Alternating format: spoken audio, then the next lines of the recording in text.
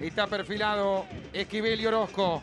Esquivel parece que va a ser quien en definitiva ejecute. Orozco dando alguna indicación. Vendrá la orden del árbitro. Va Esquivel.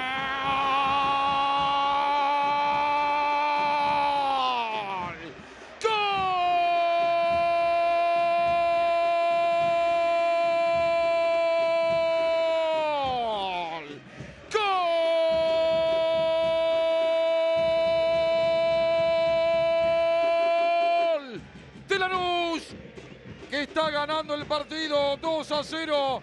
Nada pudo hacer Turnes. La pelota se fue metiendo por el palo derecho del arquero tras un pique. Está ganando Lanús. Lo hace 2 a 0. El turno de Matías Esquivel. Lanús 2, Sol de Mayo 0.